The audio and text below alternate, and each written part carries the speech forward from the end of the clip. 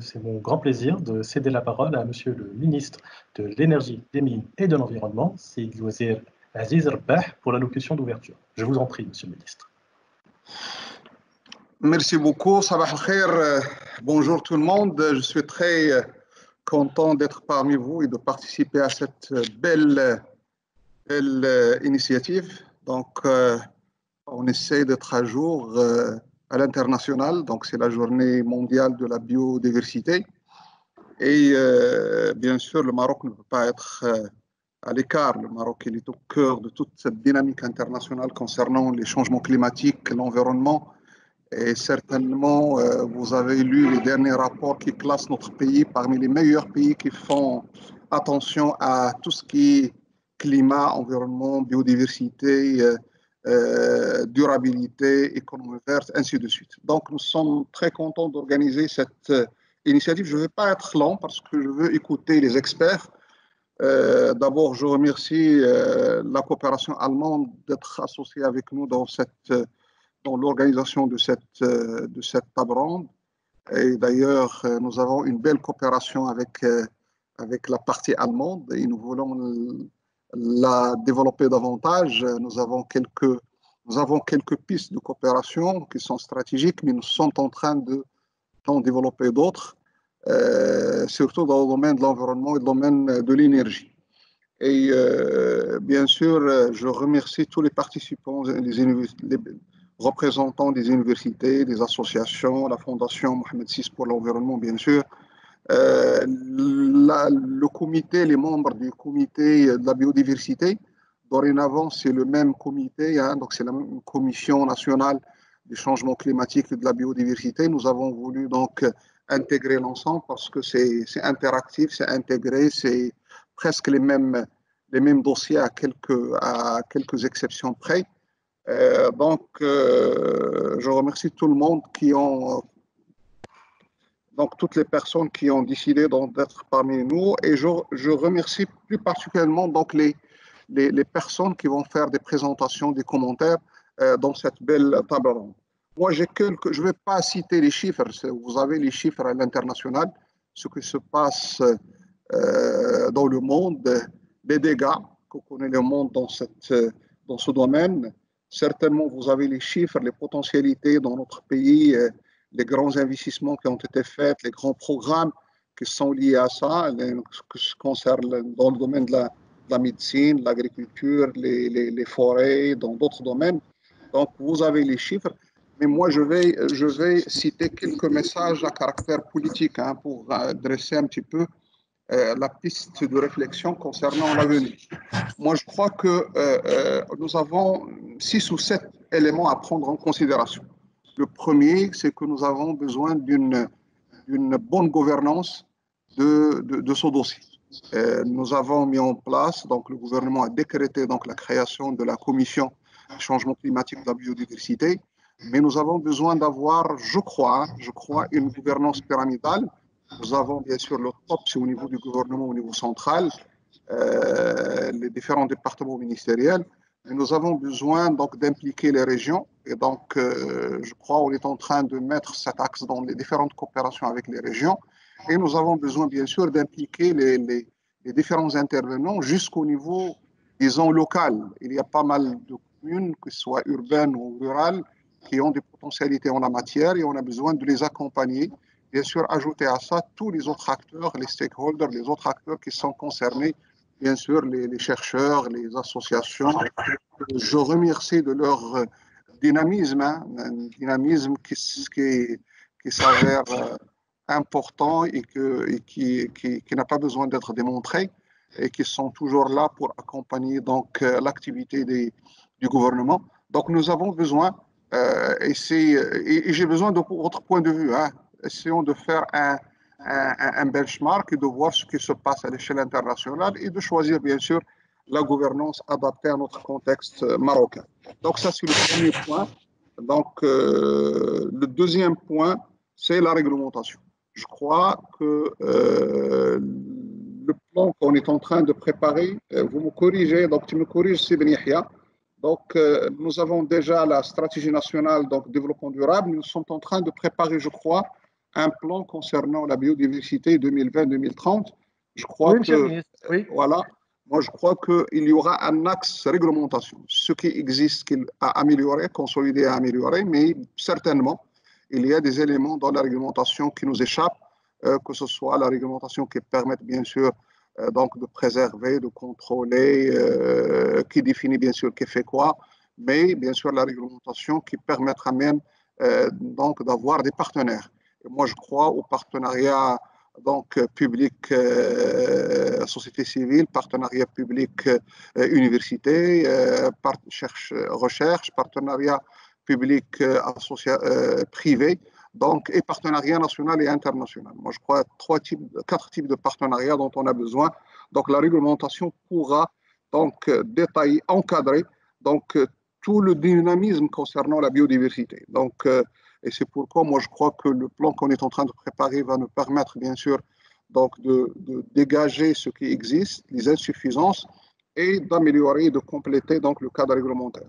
Troisième élément, et on a déjà commencé à travailler sur ça, euh, certains départements, ils ont déjà commencé à travailler ça, mais c'est segmenté et insuffisant.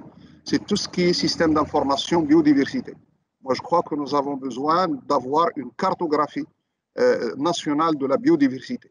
Donc, euh, moi, je crois que ce serait un très bon sujet de recherche, même doctoral. C'est c'est la cartographie intelligente. Les technologies de l'information, on le remarque aujourd'hui, ils permettent une intelligence incroyable.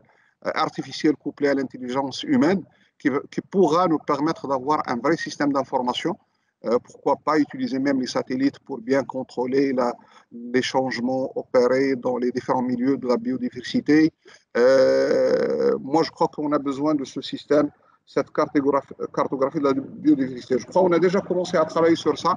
Je sais que les eaux et forêts euh, travaillent beaucoup sur, sur ce qui les, les concerne. Ils ont un système qui est très avancé, d'autres bien sûr, d'autres d'autres ministères, mais je crois qu'on a euh, besoin d'avoir un système d'information nationale, cartographie nationale intégrée, à l'instar de ce qu'on est en train de, de, mettre en place dans tout ce qui est système d'information euh, dans les autres domaines. Euh, ça, c'est le troisième point. Quatrième point, est-ce que, bien sûr, réfléchir sur le système de, contrôle et de prévention? Est-ce que le système actuel, les polices actuelles, les, les, corps actuels sont suffisants, ils ont tous les moyens pour qu'ils puissent contrôler, euh, prévenir, euh, sensibiliser, ainsi de suite. Moi, je crois que euh, on a besoin, on a besoin, je crois, d'avoir un vrai système de contrôle et le doter, bien sûr, de tous les moyens nécessaires pour faire son travail. Cinquième point, et ça a été mentionné dans pas mal de documents, c'est que les milieux naturels, les milieux de la biodiversité se sont rétrécis au fil des décennies. Donc, euh, on a perdu beaucoup d'espace, on a perdu beaucoup de forêts, on a perdu beaucoup de milieux naturels qui étaient extraordinaires, on a perdu beaucoup de plantes médicinales, aromatiques, ainsi de suite. Hein. Moi, je crois qu'on euh, peut faire, on peut renverser la, donne, euh, c'est-à-dire euh, avoir un vrai programme d'extension, un vrai programme d'élargissement et d'extension et qui permettra de ressusciter cet milieu naturel et qui permettra bien sûr même d'en créer d'autres. Je crois qu'il y a des possibilités de créer même des, des milieux naturels qui n'existent pas. On peut, on peut, les créer, on peut étendre ce qui existe, ressusciter ce qui existait par le passé et qui sont, ils étaient perdus au fil, comme j'ai dit, des décennies. Mais on a la possibilité, bien sûr, d'en créer d'autres. Euh, L'idée des eaux et forêts, donc d'avoir, d'aller dans les zones arides et semi-arides dans, disons, euh, de planter donc des arbres qui s'adaptent au contexte climatique. C'est une idée qui est géniale et on a déjà commencé à discuter avec nos, collègues euh, donc, du département. Comment peut-on avoir des arbres qui consomment moins les ressources hydrauliques et qui permettent d'avoir une valeur ajoutée, que ça peut être une valeur ajoutée énergétique. Je sais qu'il y en a, je ne suis pas spécialiste, je sais qu'il y a énormément d'arbres, euh, que ce soit en Amérique latine ou en Australie, qui s'adaptent à notre euh, sol et à notre climat et, qui sont d'une valeur ajoutée économique, bien sûr environnementale, euh, mais qui sont d'une valeur ajoutée économique extraordinaire, euh, qui peuvent nous donner de la bioénergie, euh, la biogaz, et qui peuvent être bien sûr des, donner des produits, euh, disons, des médicaments et permettre même d'avoir des parfums. Moi, je sais que c'est possible. Hein.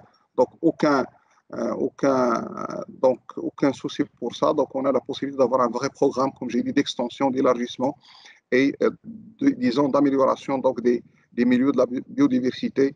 Et sixième point, ça c'est pour moi hein, qui me paraît très important, c'est qu'on euh, peut préserver les milieux de la biodiversité, les milieux naturels, par l'animation. Moi, je crois que ce n'est pas par des clôtures, c'est uniquement par le contrôle et des clôtures, mais plutôt par l'animation. Moi, je crois le fait de créer énormément de parcs de loisirs, énormément de parcs d'attractions, énormément de parcs, et moi, je crois d'animation permettra de valoriser davantage donc, les milieux naturels. Moi, je crois que c'est une discussion qui euh, qui doit être, euh, disons, d'actualité avec les différents départements concernés. J'ai eu l'occasion de discuter avec mes collègues euh, du, département des eaux et forêts, mais j'ai dit, d'après mon expérience, hein, d'après ce que je lis, donc il y a énormément d'investissements dans tout ce qui est animation. animation, ça permettra, un, de donner plus de valeur à ces milieux naturels. Milieux naturels, bien sûr, qui préservent la stabilité de l'écosystème pour l'humain, mais qui pourra même euh, donc accompagner le développement qu'on connaît pas mal de zones, euh, même, même, même dans les milieux naturels. Bien sûr, euh, ajouter à ça, c'est de penser à des, à des investissements. Quels sont les investissements qu'il faut développer dans les milieux naturels, dans les milieux de la biodiversité? Moi, je crois qu'on peut avoir beaucoup d'investissements en la matière, caractère touristique, économique et même industriel. on, pourra même, on pourra même, dans certains cas, et je m'excuse, je réfléchis à, haute voix, dans certains lacs où il y a des eaux douces, on peut avoir du privé sur la base d'un partenariat public-privé université et de, de, de, préserver donc le lac, les lacs par, la, culture donc des plantes médicinales, par la culture des plantes aromatiques, par même, même, même, même, même euh, d'autres, types de cultures et même d'autres euh, types d'activités. Et comme ça, euh, on préserve donc le milieu naturel et on crée de, la valeur ajoutée sociale et économique parce qu'il y a de l'emploi. Et, moi, je crois qu'il y a cette possibilité. Il y a cette possibilité parce que les moyens d'avoir beaucoup de moyens, c'est pas possible. Certainement, on a des moyens qui sont très limités. Donc, pour préserver les lacs, avoir des gardiens, euh, je ne sais pas faire des aménagements, des infrastructures, ainsi de suite. Moi, je crois que ça peut se faire avec le privé, moyennant des activités qui sont, euh, qui sont, euh, qui sont, qui sont rentables. voilà, comme j'ai dit, quelques pistes de réflexion, la gouvernance, la réglementation, la cartographie de la biodiversité, le, la prévention et le contrôle, l'extension et l'élargissement des milieux et la valorisation par l'animation et l'investissement et sur la base euh, des, comme j'ai dit, des partenariats. Bien sûr, les partenaires internationaux sont les bienvenus. Donc, il y a énormément de fonds à l'international et j'espère que dans, notre, dans, euh, les différents départements, nous avons cette veille, ce que j'appelle la veille, la veille de partenariat, de voir ce qui se passe à l'international, d'en tirer profit pour le bien de notre pays. Voilà mes, réflexions que je vous livre. Je n'ai pas voulu vous prendre beaucoup de temps en citant donc les chiffres, que ce soit à l'échelle internationale et nationale. Comme j'ai dit, vous le maîtrisez mieux que moi, mais voilà quelques réflexions. Euh, euh, donc, je vous soumets pour discussion. Certainement, il y a des choses qui avancent, certainement, les choses ont besoin, ont besoin d'être boostées. Merci de votre attention. Merci à vous, euh, Monsieur le Ministre, pour ces commentaires très riches et très généreux. L'année 2020 était déjà une année importante pour la biodiversité, car elle marque le début d'une nouvelle décennie et de nouveaux objectifs dans le cadre mondial pour le post-2020, pour l'après-2020. Mais à la lumière de ce chamboulement mondial dû à la pandémie du Covid-19, elle a été érigée au rang des grandes questions mondiales et c'est une chance à ne pas manquer. Nos solutions sont dans la nature. En effet, la nature est essentielle pour l'homme car elle nous rend une multitude de services, souvent méconnus et dont on n'a pas forcément conscience, du moins tous les jours. Ce qu'on appelle services écosystémiques, ce sont tous les biens et services rendus par la nature pour nos besoins vitaux, donc l'air que nous respirons, l'eau que nous buvons et avec laquelle nous irriguons, notamment la nourriture que nous mangeons, le bois qui nous chauffe, les plantes qui nous soignent, La nature est source de régulation de la planète. Elle régule le climat, les cycles biophysiques, notamment le carbone. Elle protège contre les événements extrêmes et c'est d'elle que dépend notre qualité de vie. Les autres contributions de la nature à notre santé et à notre bien-être sont aussi son rôle récréatif, de source d'inspiration et de cohésion sociale. Les sources majeures de dégradation de la nature et de la biodiversité sont de type essentiellement anthropique. L'utilisation des terres et le, changement d'utilisation des sols, justement, l'urbanisation, la pollution et les changements climatiques, la surpêche, les espèces invasives, pour n'en citer que quelques-uns.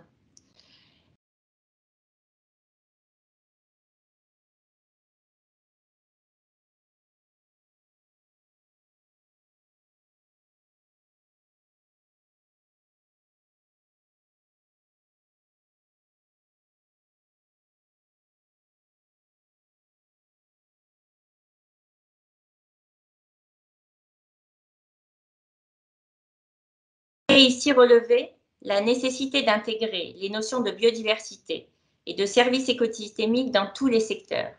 On ne pourra comprendre la valeur de la biodiversité et la préserver que si on reconnaît sa valeur économique, sociale et culturelle. Avant de céder la parole, Monsieur Taleb, vous avez parlé des efforts déployés par le Maroc pour honorer ses engagements à l'international. Et j'aimerais aussi citer l'évaluation nationale de la biodiversité et des services écosystémiques que le département de l'environnement a lancé avec notre appui et dont les résultats seront disponibles vers la fin de l'année. Nous réitérons, bien sûr, la prédisposition de la GIZ à appuyer les efforts du ministère et des partenaires institutionnels dans leur politique, leur stratégie et programme de préservation et de valorisation de la biodiversité.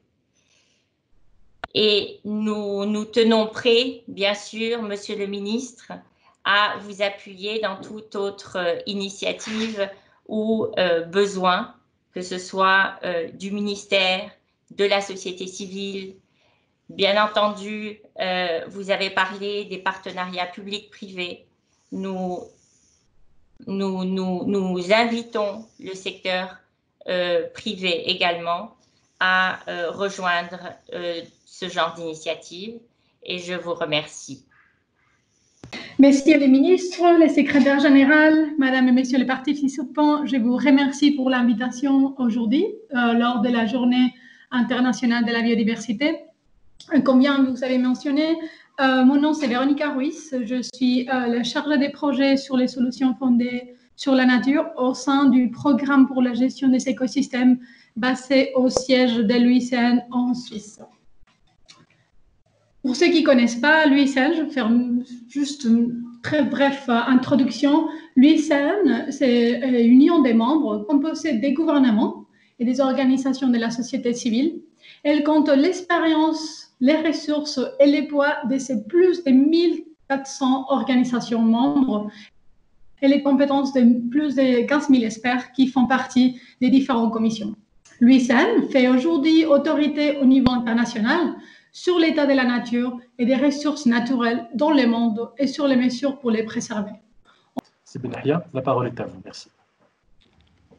Merci, euh, merci Ayman euh, pour cette euh, belle animation de cette table ronde virtuelle.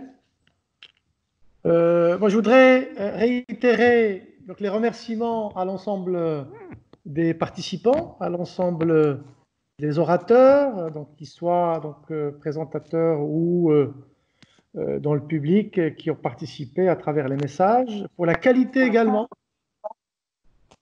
Est-ce que vous m'entendez? On vous entend. Il y a un petit bruit d'écho. Donc j'invite tout intervenant ou participant à bien être sûr d'avoir désactivé leur microphone. On vous entend. C'est juste qu'il y a un petit bruit d'écho. Merci. Donc je disais que je remercie tout le monde pour la qualité des échanges. Euh, donc, comme vous le savez, bien entendu, c'est euh, la célébration de la Journée internationale de la biodiversité, dont le thème a été largement expliqué et débattu. Euh, je voudrais faire le lien également avec la Journée mondiale de l'environnement qui va se tenir dans quelques semaines, enfin dans quelques jours, je dirais. le, 5 juin, qui est également sous le thème de la biodiversité et de la nature, puisque le slogan retenu est le temps de la nature. Donc c'est une euh, coïncidence euh, euh, importante à souligner dans le contexte que nous vivons. Il faut rappeler que c'est la décision pour les thématiques qui ont été prises bien avant, dans le contexte onusien, et donc qu'elles se produisent dans ce contexte de, Covid-19 invite véritablement à une réflexion profonde sur les relations entre la biodiversité et, la santé humaine. Euh, alors, je crois aussi, cela a été dit euh, tout à l'heure, j'ai repéré un commentaire de Sikabiri euh, sur le renforcement de l'intérêt pour la biodiversité. Effectivement, ce qui a, on peut le constater, ce qui a capté l'intérêt de la communauté internationale ces dernières années, c'est le climat pour euh, toutes les raisons que vous connaissez. Et la biodiversité a un petit peu été reléguée euh, au, deuxième plan. Mais je crois que la biodiversité, depuis maintenant euh, au moins une COP, commence à, à, avoir un regain d'intérêt de la part des États, de la société civile, enfin de tous les acteurs non étatiques. Et c'est tant mieux, c'est une bonne chose. Parce que la synergie entre les trois conventions de Rio est une chose essentielle. Et ça a été toujours une réclamation d'un certain nombre de pays, notamment des pays euh, en développement, d'avoir une synergie entre les changements climatiques, la biodiversité et la désertification, et de renforcer euh, toutes ces synergies. Et également de réduire le fardeau pour les pays qui euh, sont partie contractantes dans ces conventions réduire le, fardeau des déplacements, de la mise en œuvre. Et donc, je crois qu'il faudrait réfléchir à l'avenir à quelque chose qui unifierait euh, tout ceci, puisque l'objectif euh, étant le même. Euh, donc voilà, moi je crois que, et je le vois au travers des commentaires que j'ai pu, pu lire, euh, c'est une belle, une belle célébration de cette journée internationale de, la biodiversité. Alors les solutions sont dans la nature. Tous, euh, tous les gens qui ont trempé de près ou de loin dans les écosystèmes, euh, dans la biologie, connaissent que la, nature est un livre ouvert, bien sûr. Et nous devons apprendre. Nous avons appris de ce livre ouvert et nous avons tendance malheureusement à le refermer, mais nous devons le garder ouvert pour en apprendre. En apprendre beaucoup. Très peu de choses euh, sont encore connues euh, dans notre euh, biodiversité. Je parle à la biodiversité marine notamment. Et donc il y a véritablement un, effort à faire en termes de découverte, de recherche à ce, à ce niveau-là. Et euh, moi, je voudrais par la même occasion peut-être vous inviter à euh, revisiter les suggestions qu'avait fait M. le ministre tout à l'heure, qui étaient très pertinentes par rapport à, à, notre discussion, et elles se croisent, fort heureusement d'ailleurs, elles se croisent largement avec les différentes interventions des uns et des autres, et également avec les commentaires écrits des participants. La question de la gouvernance, qu'elle soit mondiale ou nationale, est une chose essentielle. Et donc, euh, la gouvernance de la biodiversité est importante. Et je crois que dans notre contexte, la mobilisation des territoires est euh, d'une priorité très, très élevée. D'autant plus que les régions, donc les conseils régionaux, ont des prérogatives et ont des attributions euh, dans ce domaine les attributions euh, partagées, bien entendu, avec l'État. Euh, et donc, la gouvernance à ce niveau-là doit être renforcée. Je ne parle pas de l'international, c'est évident, j'y ai fait allusion tout à l'heure. Il y a un, une sorte de pacte mondial en préparation à l'initiative de la France, qui serait donc là le, document juridique global qui unifierait euh, l'ensemble des euh, conventions de Rio il est en discussion, il, nous sommes partie prenante de cette discussion. Le Maroc est fortement engagé, le Royaume du Maroc est fortement engagé dans ces discussions sur le pacte mondial pour l'environnement. Alors au plan national, effectivement, il y a ce renforcement des liens avec le territoire, comme l'a euh, euh, suggéré et proposé M. le ministre tout à l'heure. Euh, à ce niveau, donc, vous le savez peut-être, il y a un décret qui a été publié qui institue le comité de biodiversité, parce qu'auparavant c'était un comité qui travaillait sous le contexte du CNE, mais n'avait pas d'assise juridique. Maintenant, nous disposons d'une gouvernance renforcée. Et en plus, euh, elle est intégrée avec les changements climatiques. Donc, d'ores et déjà, la gouvernance chez nous tente de traiter de la même manière et de façon intégrée les questions de changement climatique et de biodiversité, puisque le décret institue un seul comité, mais qui se décompose en sous-comités, l'un pour la biodiversité et l'autre pour les changements climatiques. Nous, devons nous féliciter de cette gouvernance renforcée et mise en place pour la biodiversité. Il y avait également la question de la réglementation qui avait été euh, euh, soulevée, proposée par M. le ministre. Et euh, nous savons tous que notre dispositif de préservation de la biodiversité est encore lacunaire. Nous sommes en train, avec toutes les parties prenantes, le ministère de l'Agriculture, de la pêche et des eaux et forêts, euh, département de l'environnement, ministère de la santé, etc., etc., à renforcer ce cadre législatif et réglementaire parce que c'est l'instrument de protection pour le développement durable. Et donc la réglementation est, très importante.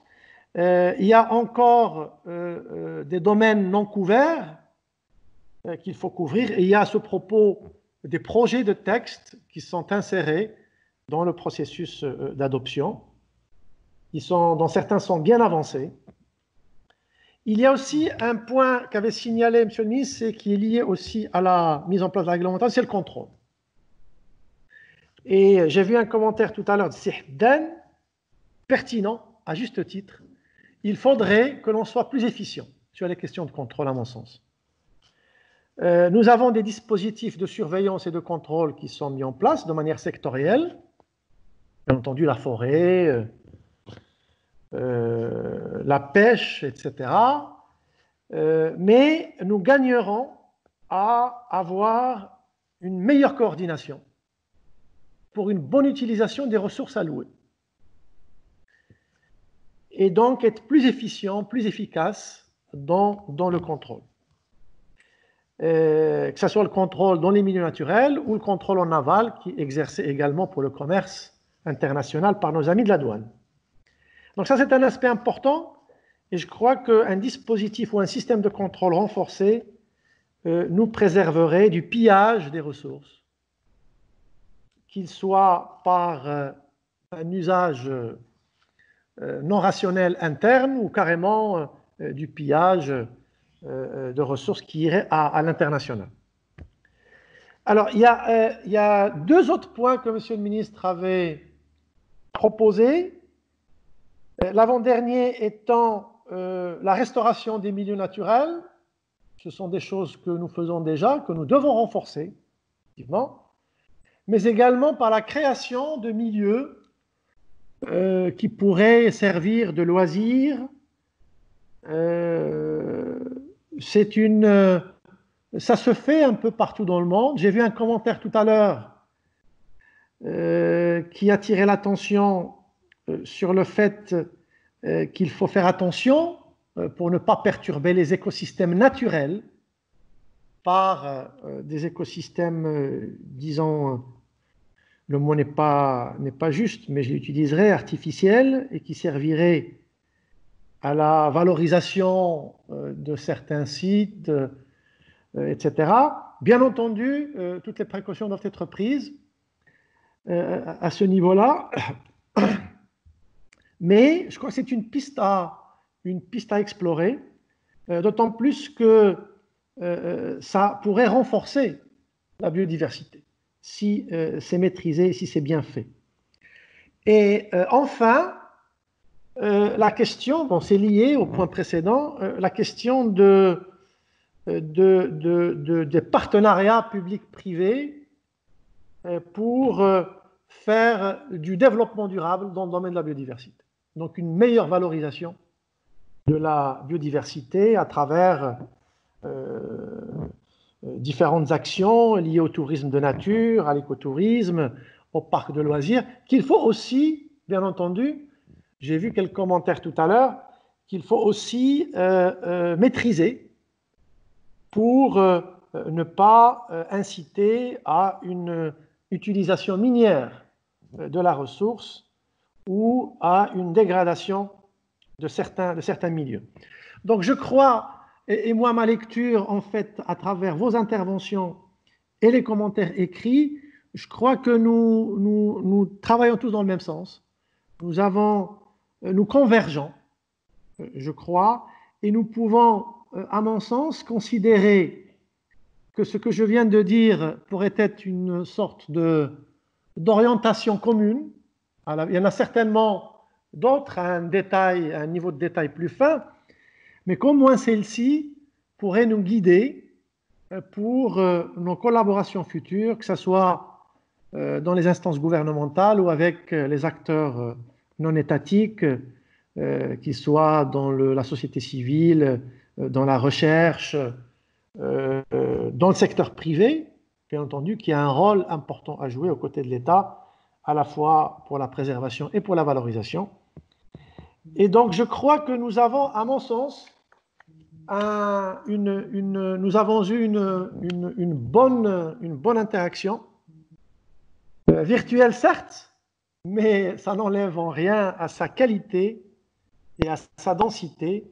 Et je voudrais encore une fois euh, vous, vous remercier toutes et tous, vous dire que le ministère de l'Environnement le département de l'environnement est, ouvert à toutes vos propositions et vos, vos, suggestions, que nous sommes sur de grands chantiers avec nos partenaires, euh, que ce soit le ministère de l'Agriculture, des Eaux et Forêts et des Pêches, que ce soit avec la société civile, euh, euh, avec le milieu de la recherche et de l'enseignement. Nous sommes sur de nombreux chantiers pour cette année 2020 et 2021, des chantiers importants qui sont liés à la biodiversité à la euh, valorisation de la biodiversité, à une meilleure compréhension et une meilleure évaluation des services écosystémiques.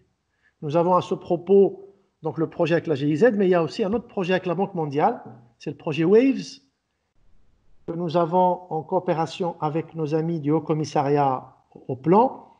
Et donc voilà, nous avons une feuille de route euh, riche et diversifiée pour ce qui reste de 2020 et pour 2021, Inch'Allah et nous comptons sur vous toutes et tous pour euh, une bonne interaction, pour que tout ceci puisse, servir les intérêts de notre pays et euh, euh, du peuple marocain.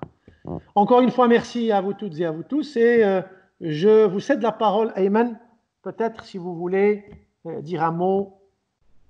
Merci.